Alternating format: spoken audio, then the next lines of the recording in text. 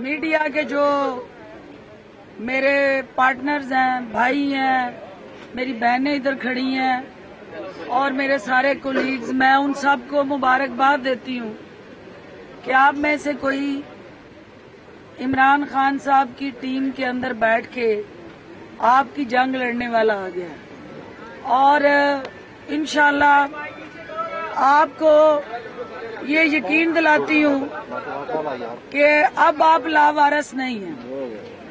اور جو تصادم کی کیفیت ان نیسری پیدا ہوئی اور ایک تاثر گیا کہ پی ٹی آئی کی حکومت میڈیا سے تصادم چاہتی ہے یا میڈیا مالکان اور کارکنان کے ساتھ ہم مانگی سے نہیں چلنا چاہتی یا آپ کے مسائل سے ہم لا تعلق ہے تو میں آپ کو یقین دلانے آئی ہوں کہ عمران خان صاحب، وزیر اعظم پاکستان پاکستان تحریک انصاف اور وزیر اعلی پنجاب ایک پیج پہ ہے کہ آپ ہماری طاقت ہیں۔ میڈیا کو ہم اپنی کمزوری نہیں بنائیں گے اور میڈیا اس حکومت کو لانے میں جو آپ کا کلیدی رول ہے، اس کو موجودہ حکومت انڈورس اور سپورٹ کرتی ہے۔ اور جمہوریت کے اندر جو میڈیا کا کلیدی کردار ہے، ہم آپ کو جمہوریت کا چوتھا ستون مانتے ہیں۔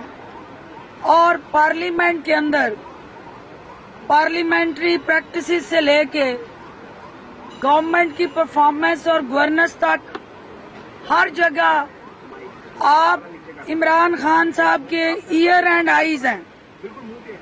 آپ موجودہ حکومت کی ایک ایسی ٹیم ہے کہ جو ہماری غلطیوں کی نشاندہی بھی کریں اور اس کے اصلاح کے لیے مثبت تجاویز بھی دیں انشاءاللہ حکومت آپ کے وہ جائز مطالبات آج وزیر اعلی پنجاب سے میری میٹنگ ہوئی۔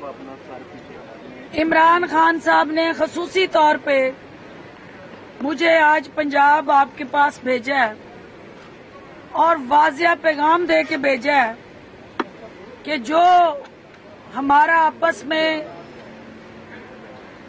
کمیونیکیشن گیپ بنا، میں صبح آپ کے پریس کلب کے صدر سے ملاقات کی۔ میں نے آپ کی باقی جو صحافتی تنظیمیں ہیں، ان سے روابط اور تاریں جوڑنے کی چکر میں ہوں اور کوششوں میں ہوں۔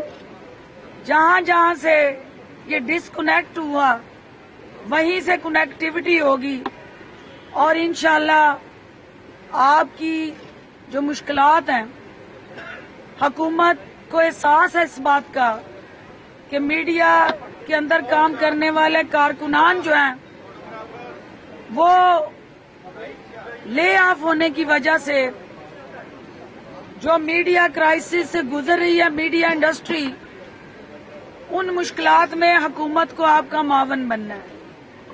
آپ کو ان چیلنجز سے باہر نکالنے کے لیے آپ کی سپورٹ بننا ہے۔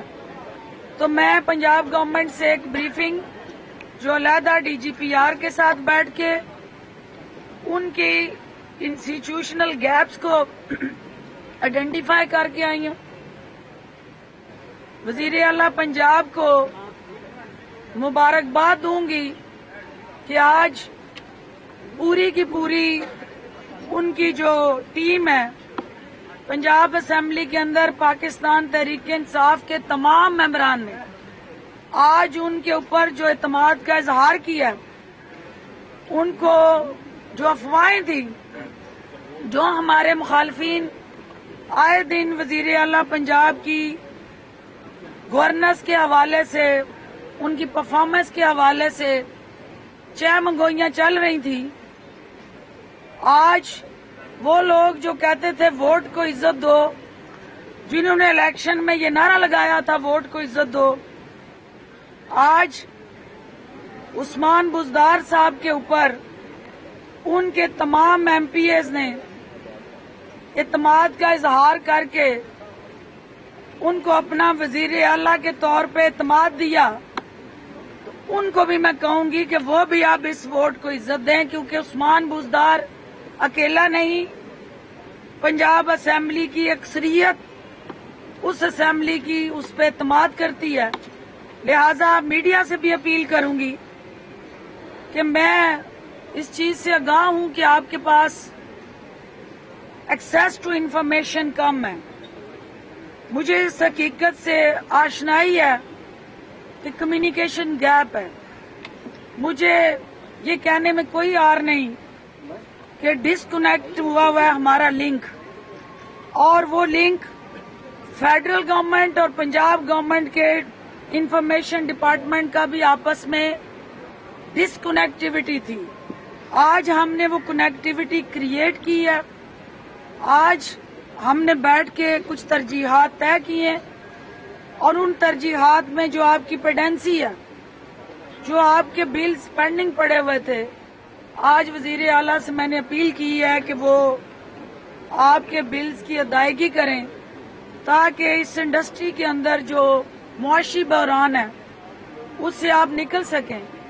اس کے ساتھ ساتھ کارکنان کے لیے خوشخبری یہ لے کے آئی ہوں کہ حکومت نے انٹرم ویج ایوارڈ جاری کرنے کا فیصلہ کیا۔ پرائم منسٹر آف پاکستان نے آپ کے لیے انٹرم ویج ایوارڈ جو ہے اس کو اپروو کر دیا۔ ان قریب ہم آپ کے لیے وہ پورا پیکج جو اپروو ہوا وہ آپ کے ساتھ میں شیئر کروں گی اور فوری طور پہ ود ان نو ٹائم اس کو پرماننٹ ویج ایوارڈ میں کنورٹ کریں گے۔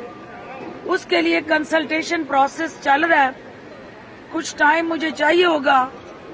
میں اس چیز کو سمجھتی ہوں کہ اکنامک کنسٹینز ہیں۔ جہاں پورے ملک میں مسائل ہیں، اس کا شکار میڈیا انڈسٹری بھی ہوئی۔ لیکن جب آپ ہمارے پارٹنر ہیں تو مشکلات مل کے جھیلی جاتی ہیں اور ان سے نکلنے کی بھی اسٹریٹجی مل کے بنائی جاتی ہے اور انشاءاللہ آپ کو اشور کرتے ہیں کہ حکومت پنجاب جو ساٹھ پرسنٹ پاکستان ہے، ساٹھ پرسنٹ پاکستان جو ہے، وہ عمران خان کا سب سے بڑا بیٹل گراؤنڈ ہے۔ پاکستان تحریک انصاف کا سب سے بڑا محاذ سیاسی جو ہے، وہ پنجاب ہے۔ اور اس کو ہم نے پاکستان تحریک انصاف کے قلعے میں تبدیل کرنا ہے۔ اور اس قلعے کو جہاں جہاں مورچے ہیں، جہاں جہاں ہمارے ہلکے ہر ایم پی اور ایم این اے کا مورچہ ہے۔ اس مورچے سے عوام کو ریلیف ملنا چاہیے۔ وہاں سے عوام کی مشکلات کم ہونی چاہیے۔